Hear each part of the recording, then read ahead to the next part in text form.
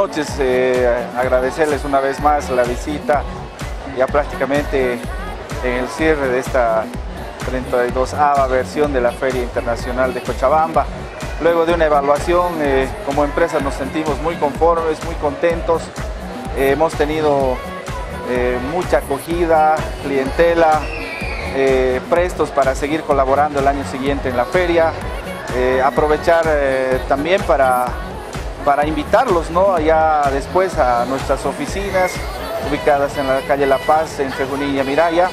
Seguimos con descuentos feriales, eh, se están ampliando a 60 días más a pedido de algunos clientes las promociones para la feria.